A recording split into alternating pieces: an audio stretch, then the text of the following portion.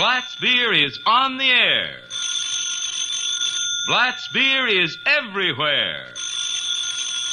Blatz, Milwaukee's finest beer, brings you transcribed Duffy's Tavern, starring Archie himself, Ed Gardner.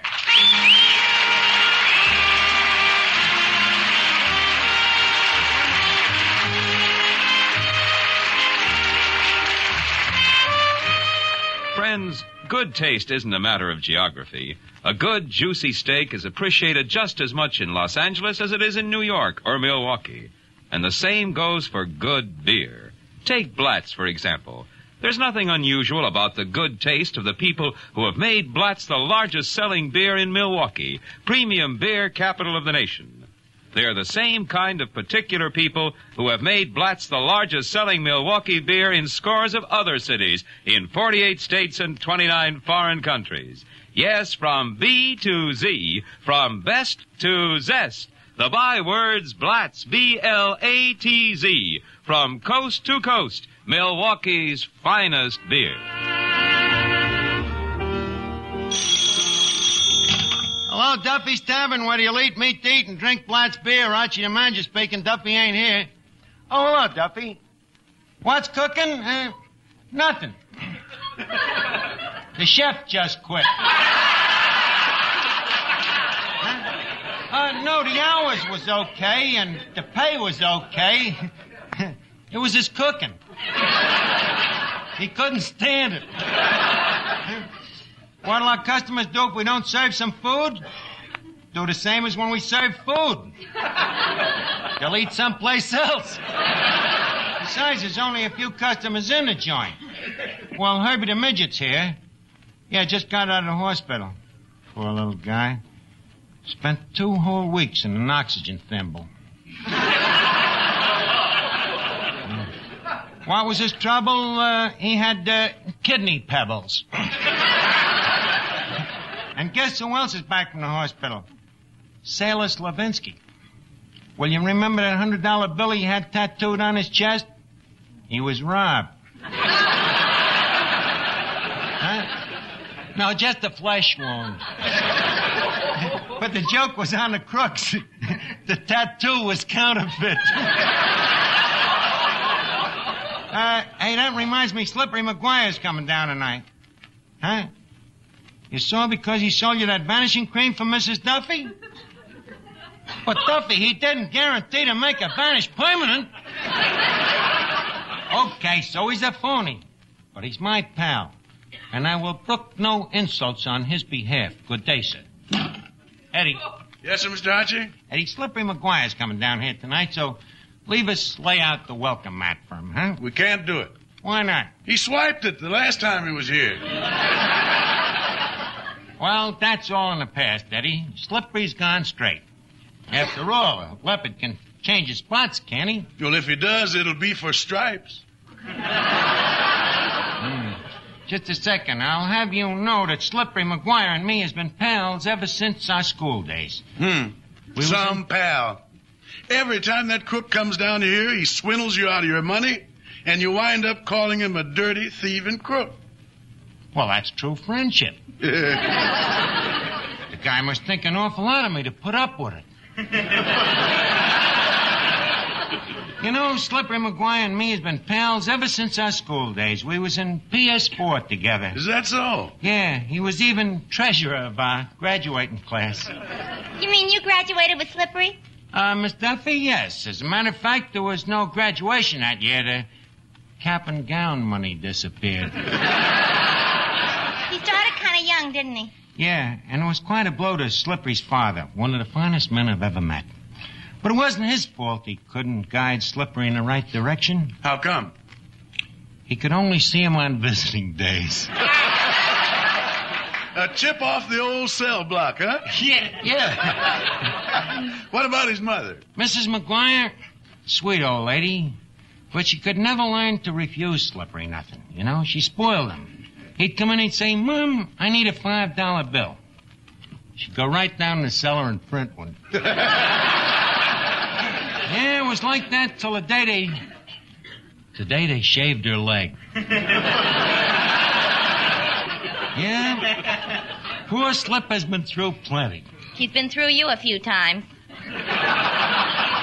Maybe so, but Slip has put his past behind him. He's now in a legitimate business selling war surplus. Like what?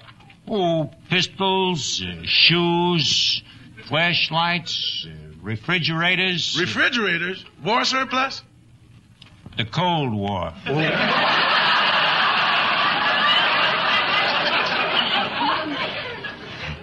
You know, Eddie, I, I'd like to throw some business Slippery's way. You might think I'm going hog wild, but you know what I'm going to buy? Well, what? An aeroplane. An airplane. Yep. Hey, you know, I've always wanted to fly. Well, have you ever considered a kite?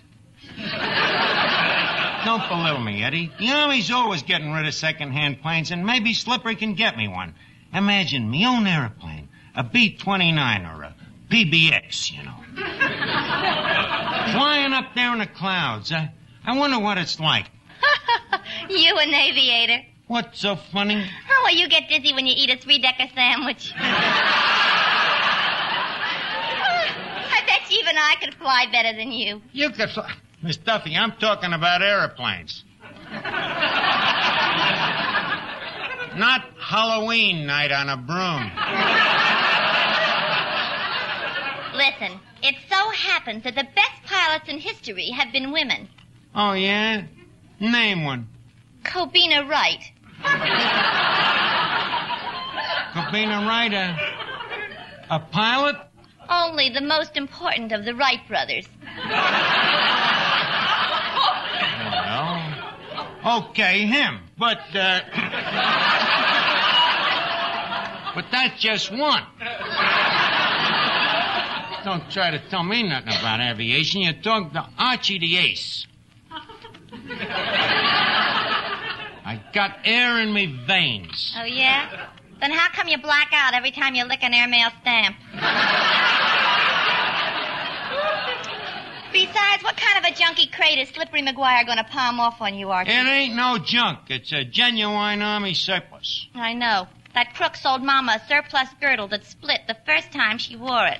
Well, don't blame the girdle just 'cause your old lady has too much surplus. Archie, why do you always have to say such nasty things behind Mama's back? Well, it offers such a broad field of operations. Oh, you, you never have a good word for anybody. On the contrary, I have five good words for you. Hit the road. That's only three. The rest ain't hard to figure. Ah, make a noise like a hoop and roll away.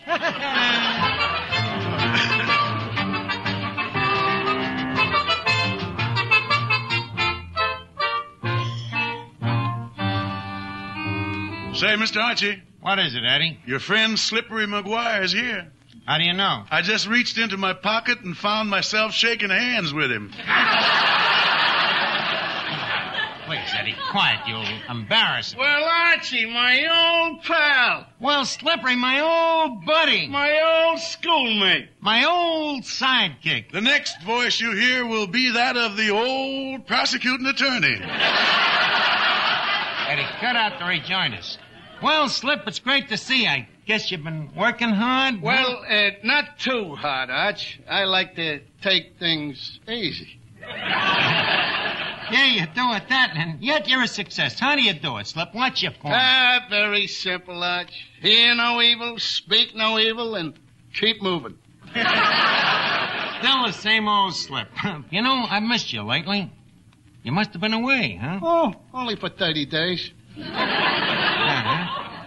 What was you doing? 30 days. I mean, uh, uh, I've been uh, putting in some time for the government. You know, uh, working on this surplus army stuff. Oh, yeah, I've been Yeah. meaning to ask you, Slip. Ain't it a little late to be selling army surplus? Arch, come here. This is surplus army surplus. You're right on the ball, ain't you, Slip? Ah, sure, Arch. I'm only selling things that people can use in practical everyday life. yeah, practical everything. Yeah. Like yeah. what? Uh, Well, like uh, landing barges, steam shovels, Quonset huts, anchors, ripcords, parachutes. Just a second. What's practical about a ripcord? what else are you selling? Well, uh, let's put it this way, Arch. What do you need? Well, I don't really need nothing, but I was kind of toying with the idea. It's silly to say it. Go ahead, tell your old pal. Nah, it's too absurd. What is it, Arch? I was thinking of an airplane. A fighter or a bomber? Slim. You mean there's a chance? Look, Arch, uh, how much have you got to spend? Well, not very much, just 14 bucks. Fourteen bucks. For that, I wouldn't sell a plane to my own brother. Hmm, Well, that's all I got. Brother, you bought yourself a plane. of course, uh, for that price, it won't be a four-motor job. No, four motor. No. Uh, well, how about one of them, uh, them uh, helium copters? Oh, well, that's a cinch. Just give me the 14 bucks and I'll go get it out of stock before somebody else grabs it. Okay, here you are. Slip good luck and happy landing. Roger. Wilco. Arch, you're taking to it like a duck to water. See you later, you ace you. so long. So long, Slip. Oh, boy. Hey, Eddie. Yeah? Eddie, guess what? Slippery's gonna get me one of them helium copters. A what? One of them airplanes you can land on a dime. Three to one that Slippery don't leave you a dime to land it on. Oh, no? Eddie, Eddie, I can see myself right now. Hmm? Me hand froze to the controls. Coming in for a graceful crash landing. All of a sudden, I get a flash on the radio. Stand by for ceiling zero. What? Oh, hello, Finnegan. Hey, Finnegan, maybe you'd be interested in my new project. Uh, do you like flying? Uh, no, not me. Why not? My arms get tired.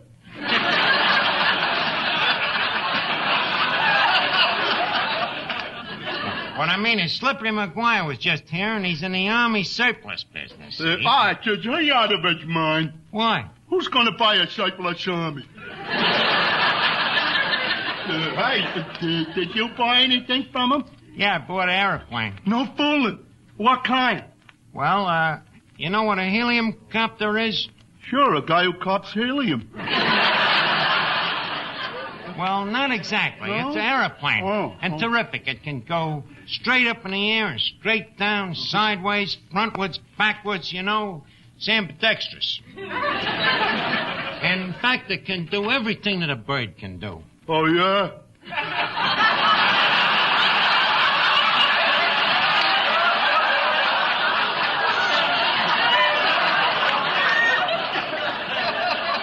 I'd like to see it either one. You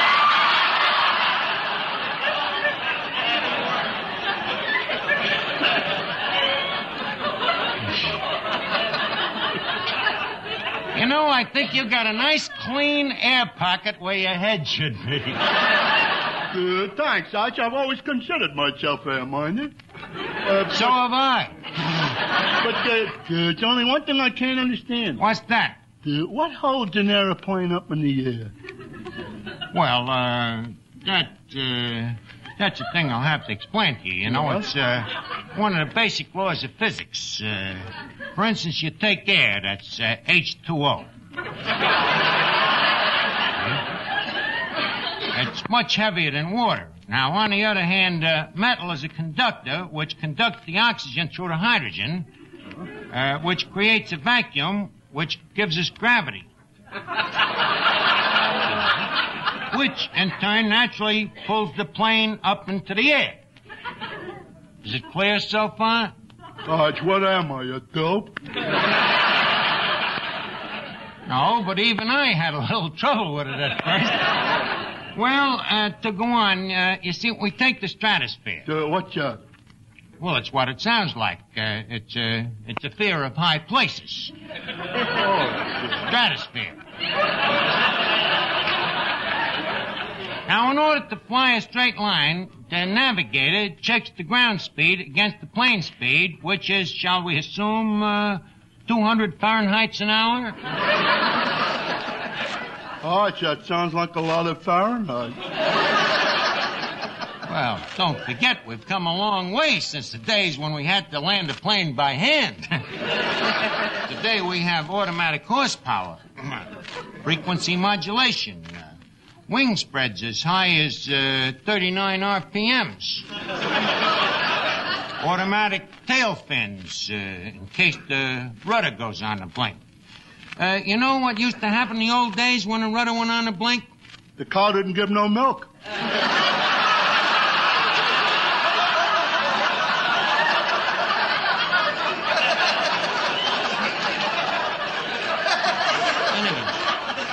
Are you sure this whole conversation ain't been too mechanical for you? No, not at all. By the way, how's chances for a job on your plane? Well, I don't know. You think you're right for the air? As right as I am for the land. oh, come on now. Give me a break. I could help run your aeroplane. You know, my Uncle Pierre was a famous flyer.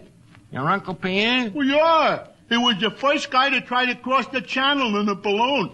And Arch, guess what he used for ballast? What? A case of Blatz beer.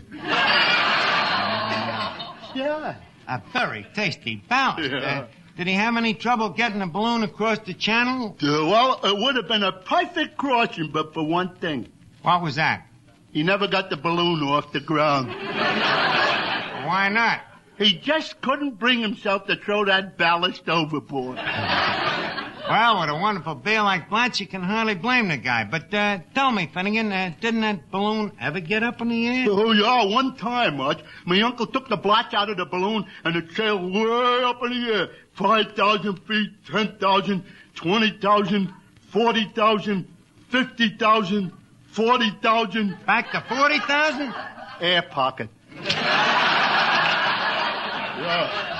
And then up to 50,000 feet, a 100,000 Wait feet. a minute, Finnegan. Nobody could live at 100,000 feet. The, the very words my uncle said as he sat there on the ground sipping his Blatz. You know, your uncle was a pretty smart guy.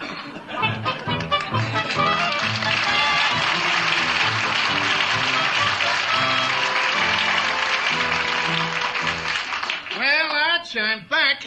You're back, Slip, huh? Uh, well, uh, tell me, where's me helium Hey, look, Arch, we've hit a little snag here. The Army's getting a little sticky about their aeroplanes. Yeah, huh? We'll have to clear this deal through Washington. Who in Washington? Come here, Arch. Nobody listening? No. Can I trust you? Certain. The man I'm talking about is you know who. No kidding. You know who? Arch, please don't mention names. yes, sir, we're taking this right up to the top. Give me the phone. Yeah, Slip. Thanks. Hello. Hello, operator. Washington, D.C., please. Hello, Arch. this is Slip. Oh, cat. Trigby Lee himself. Hey, look, Dean, I got something for you to clear through, uh, you know who. Yeah, a buddy of mine wants to buy a helicopter. Yeah, something in the ten to fifteen dollar bracket. in the bag? Swell, Dean. Well, uh, give my regards to the gang on Pennsylvania Avenue. Oh, by the way, uh, tell Harry I'm still trying to get that Spike Jones record of the Missouri Waltz, will you? hey. So long, Dean. Arch, you're all set. You got yourself an aeroplane. Oh, gee, thanks, boy. I can hardly wait till I take me first spin in that helium Your first spin. Just a minute, Arch. You won't be able to take that plane up in the air. Why not? No propeller. What? Arch, did you ever hear of anybody buying an airplane with a propeller for fourteen dollars? No. Well, then let's be reasonable. Okay, how much more for the propeller? One dollar. I ain't got a dollar. All I got is this uh, lucky piece here, Slip, if you're willing to take it. It's a, just a Chinese coin, Chinese coin. Uh, uh, what's it worth? 200,000 yen. What's that in American money? Half a buck. Well, uh, let's see what it says here in the catalog. Let's see. Helicopter, $14. Helicopter landing gear, $12. Oh, here it is. Helicopter propeller, 200,000 yen. Boy, I was right on a button, huh? Uh, this is your lucky day, Arch. And now that I got the final okay from you know who, I'll arrange immediate delivery. And here's your official handbook of flying instructions with the personal autograph of Gregory Peck. The greatest flyer of them all. Well, so long, Arch. See you in the cockpit. So long, Slip. Boy, Eddie, you know, this is wonderful. I can see myself already. Whizzing across the continent, transatlantic flights across the Pacific. Can you imagine it? Breakfast in Duffy's Tavern. Two hours later, lunch at the Miami Biltmore in Chicago. Ten hours later, supper at the Hollywood Bowl. Well, what held you up between Chicago and Hollywood? Well, I had to stop. I needed gas. Not if you had breakfast at Duffy's Tavern. I don't see the connection. Well, Arch, we're all set. Oh, Slip, hey, I forgot to ask you, where am I going to keep this helium copter? In a hangar, of course. A hangar? Where am I going to get a hangar? Well, uh, don't you know anybody that uh, might sell you one? Oh. Slip, hey, maybe you could, huh? Arch, don't you think this is carrying friendship a little too far? Yeah. Although it just so happens I do have a few hangers in stock. You do? Yeah. Slip, could you could you spare me just one? Well, You know, uh, just for old time's sake. Oh, what's the use, Arch? You always get around me. I'm too soft-hearted for my own good. Uh, how much dough you got left? well, I'm broke. You, you know, you took me last 14 bucks. Well, that was your money. How about the cash register? Slip, are you suggesting arson? That's Duffy's money. So what? An aeroplane hangar right here on his roof will mean more business to Duffy, won't it? Hello? Duffy's Tavern. Eddie, the ground crew speaking. oh, hello, Mr. Duffy. Huh? Mr. Archie? You mean Archie the pilot? He's busy, dipping his wings in the cash register.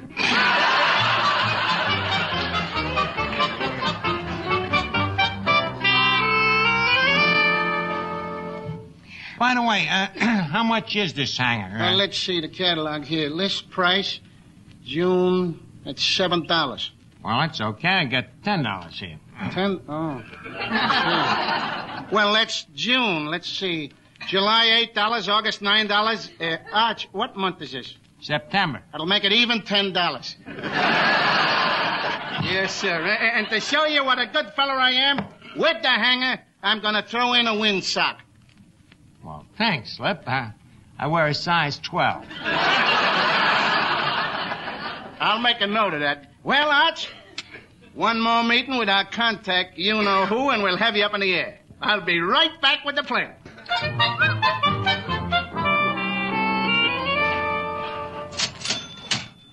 You are, Slip. Two bucks. Well, okay, Arch, and here's your wings. You know who insisted that I give them to you at the wholesale price. Gee. Yeah. Now, Arch, you're all set. I'll be right back with the plane.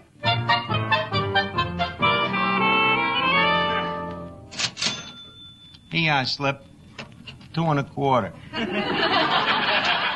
And here you are, Arch. Your genuine, never leak parachute. Together with a box of emergency tire patches. Gee. Well, Arch, it looks like you're all set. I'll be right back with the plane.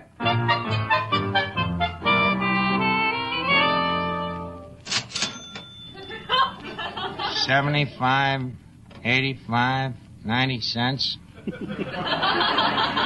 it is, Slip. Okay, Arch, and here's your non-skid white wall retractable landing gear. Gee. Well, Slip, when do I get me plane? Yep, yep, just as soon as I get final clearance from uh, you know who.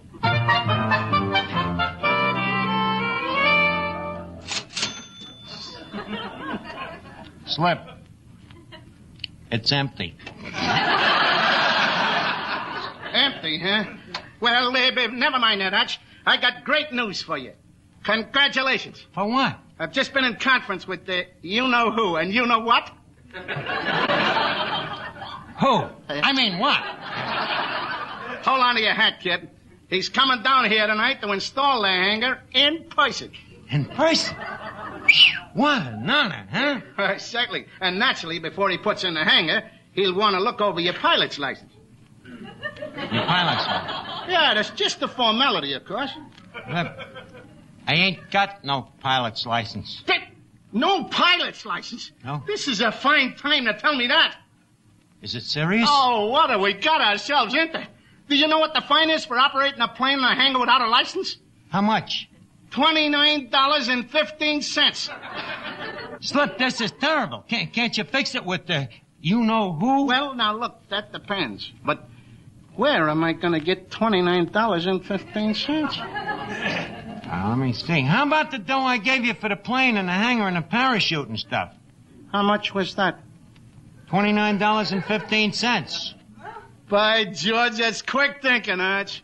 I'll take it right over to you know who. So long, low pal. So long, Slip, thanks a million. Gee, Eddie, I, I, I don't know what I'd do without the old pal Slippery. Say, Archie. Oh, hello, Officer Clancy. Uh, you look kind of tired. What you been doing? I've been looking for a swindler who's been operating on Third Avenue. Oh, yeah? What's his name? You know who.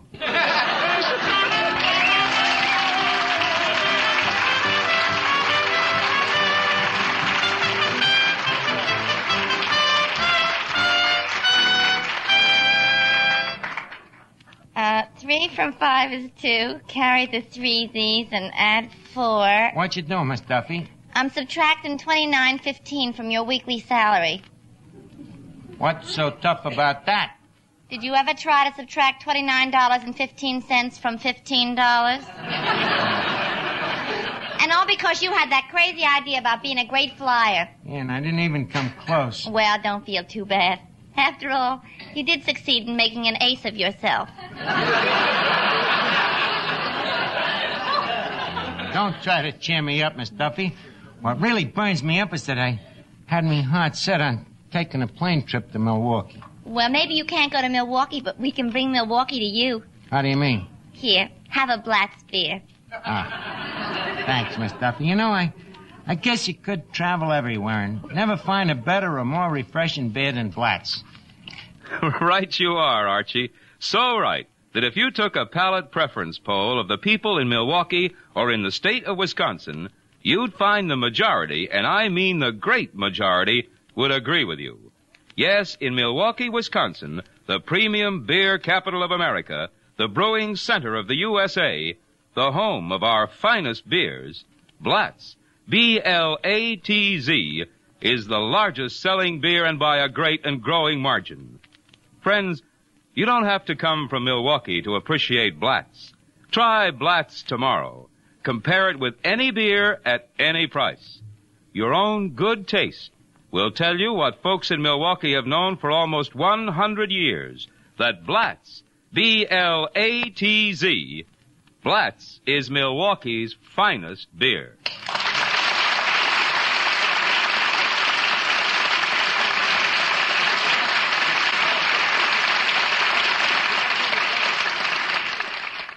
I'm from Milwaukee and I ought to know. It's the same old story wherever you go. This is the tune you will always hear. Blatz is Milwaukee's finest beer. Be sure to listen next week at the same time to Duffy's Tavern, transcribed over most of these same stations.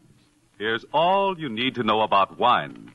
C R E S T A B L A N C A. Cresta Blanca. Cresta Blanca.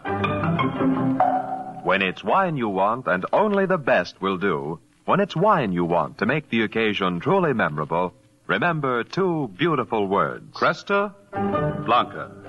Cresta. The Ronald Colemans will be back next Wednesday on NBC.